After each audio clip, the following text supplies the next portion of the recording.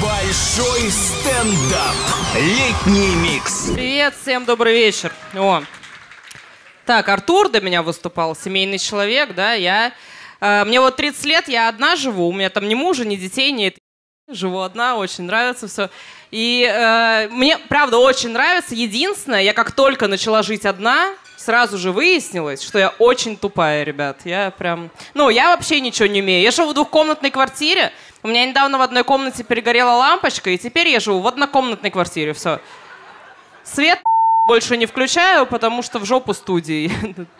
На такое вообще не подписывалась. У меня там еще счетчиков на воду нет. Я по тарифу плачу, это очень дорого, но я хрен знает, куда звонить, чтобы мне эти счетчики поставили. Поэтому все, до чего я пока что додумалась, я по максимуму использую эту ситуацию. У меня там вода льется просто. Я из Питера, у меня там сейчас краны все включены, если что. Я вернусь, блин, выключу. Мне пофиг, я за все заплатила. Мне насрать. У меня еще там есть домашний телефон, он от предыдущей хозяйки остался, вот. Я, естественно, не знаю, как его отключить, поэтому я по нему общаюсь с бабками, которые ошиблись номером. В целом, я привыкла уже нормально, я человеку сразу говорю, что он ошибся, и мне вот как-то на Пасху звонила такая бабка, говорит, Христос воскрес, я говорю, вы ошиблись?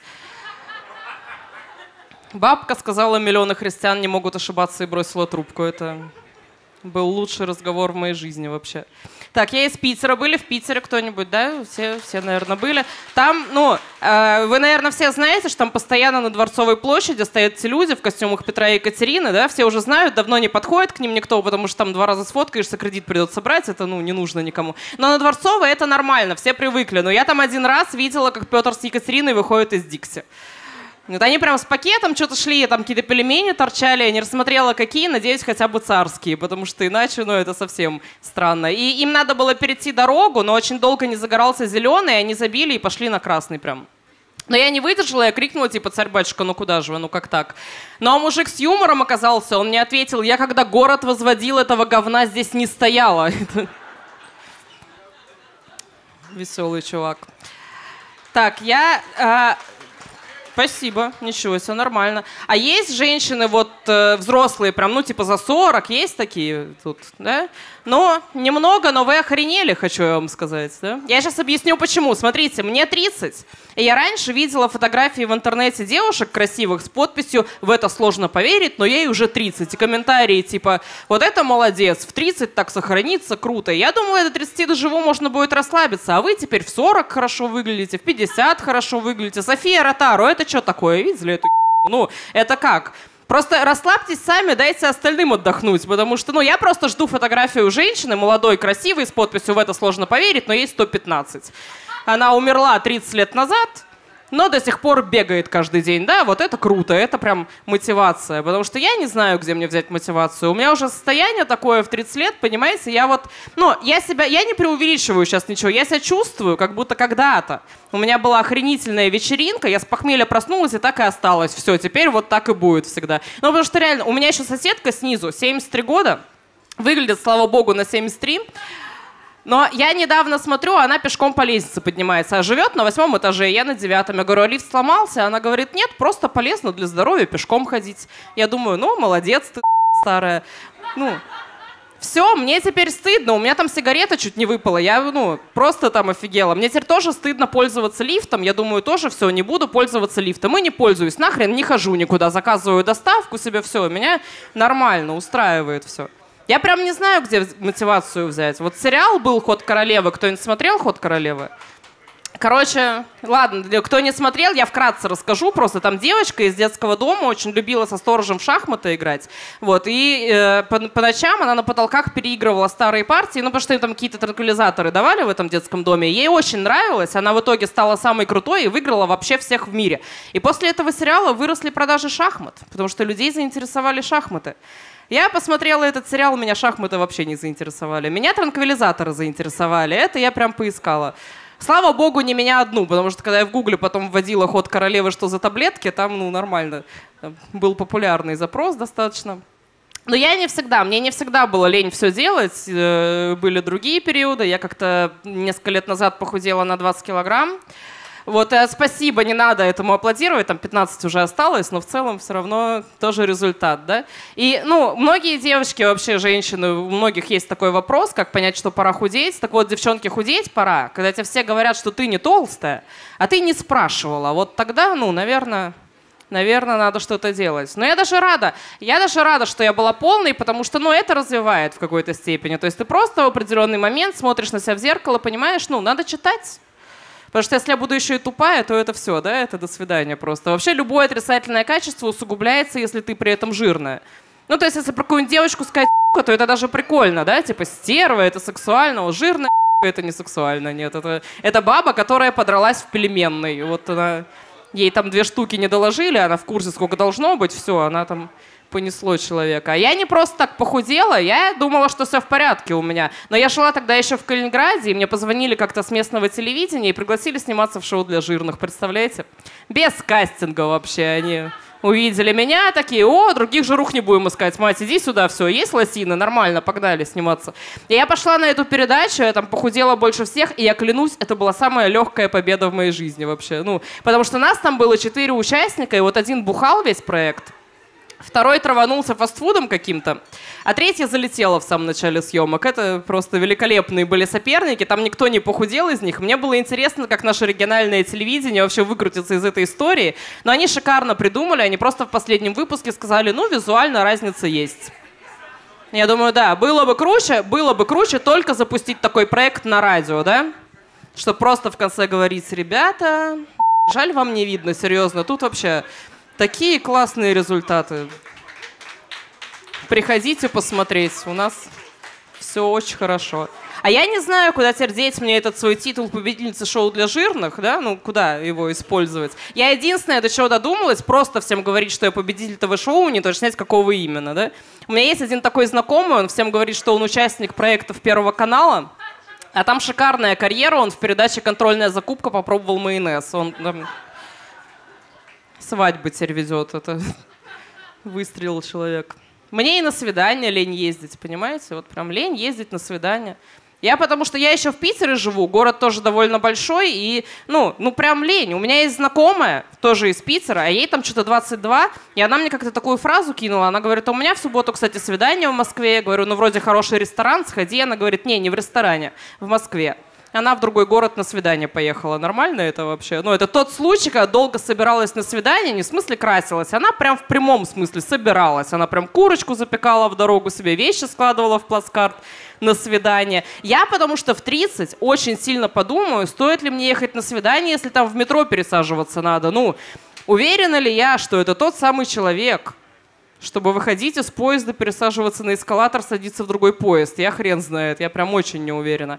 Ну, а реально город же большой, как-то нашла парня, все нормально, он прям классный был, но он жил, полтора часа до него ехать мне надо было, прикиньте, это полтора часа туда, полтора часа обратно, пару часов собраться, пять часов в итоге, вот просто рабочий день практически. Ради чего? Вот ради секса этого ублюдского, ну, не знаю, я... Если он будет вообще, потому что я как-то к нему приехала, сходила в душ и вырубилась, потому что я по дороге устала, вспотела, мне еще обратно ехать, пешком подниматься там из этой старой, ну, меня... Мне нужен отдых. Ну, а, кстати, а мужчины с возрастом же тоже теряют энтузиазм, да? Я просто недавно осознала, что я уже лет пять не слышала слова траходром. Ну, ни разу вообще все, они уехали из моей жизни, видимо, куда-то навсегда.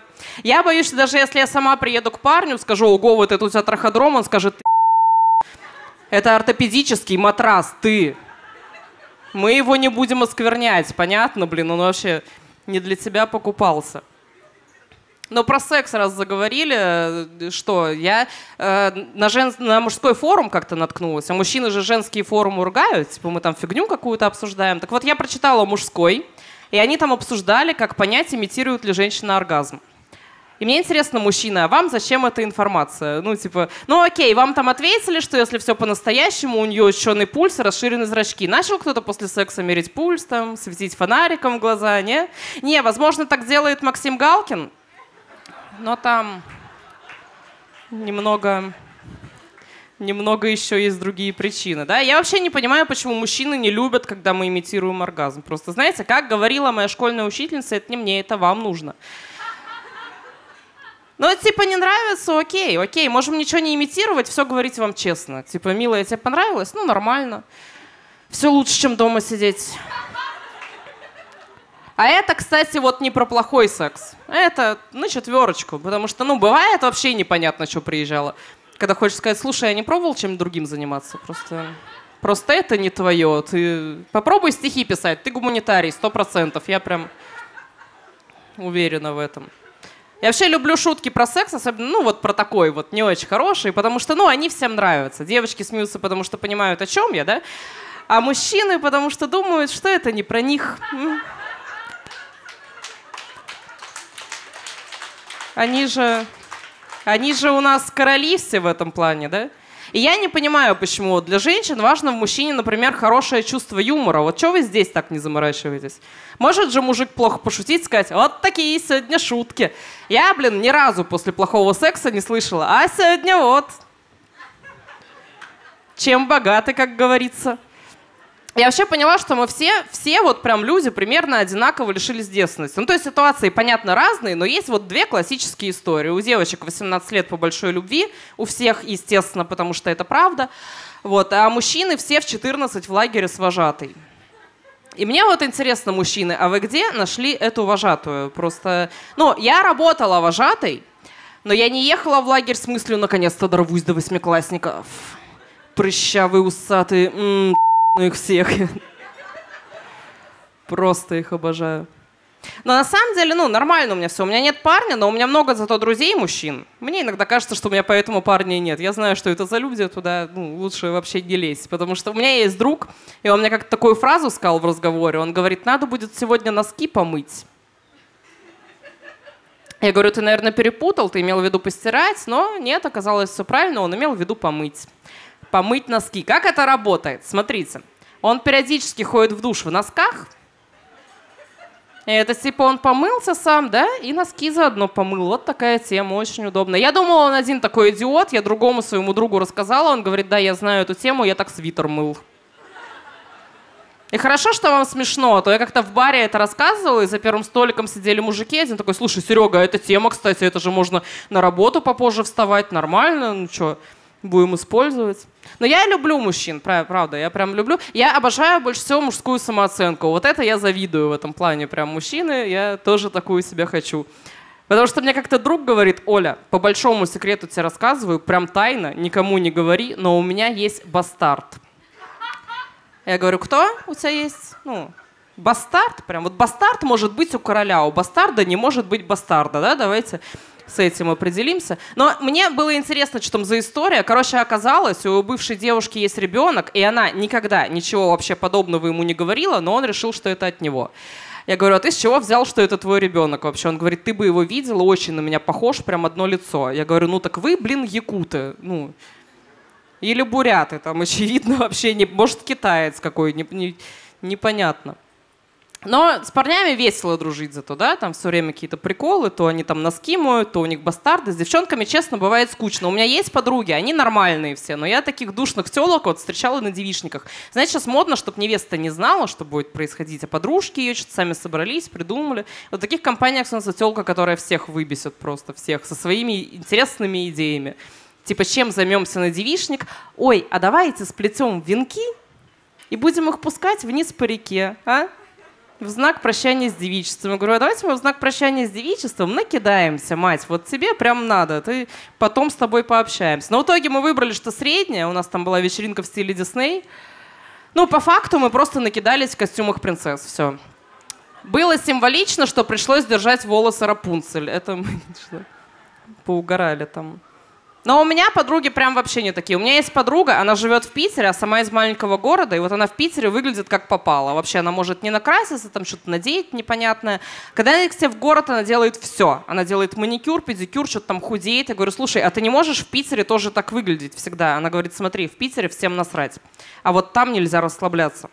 Потому что город маленький, бывших много. По-любому кто-то из них меня увидит. И я хочу, чтобы он пошел и Потом на секунду задумалась и добавила, и слезы капали на И, ну, и я поняла, что я восхищаюсь этой женщиной. Потому что, ну, во-первых, все правильно, да? А во-вторых, ну, согласитесь, ну, красиво же сказано. И он пошел и и слезы капали это же просто... Мне кажется, если бы эти строчки пришли в голову Пушкину, так бы Евгений Онегин закончился, понимаете? Это... Да, что-то смущая. Да, ладно, давайте более культурное что-нибудь. В музыкальной школе кто-то учил. Поаплодируйте, кто в музыкальной школе учился вообще. Много вас? Ага, хорошо. А теперь вот те, кому пригодилось. Поменьше, поменьше, ожидаемо. Я тоже училась в музыкальной школе. Мне не пригодилось, естественно, потому что я училась на домре. Знаете, что это за херня? Это такой русский народный инструмент, вот как балалайка, только круглый. Вот это вот дерьмо. Каждый раз приходится объяснять, что это такое очень популярная вещь. И мне кажется, ну, зачем отдавать ребенка на что-то такое? Не будет же никогда всемирно известного домриста, да?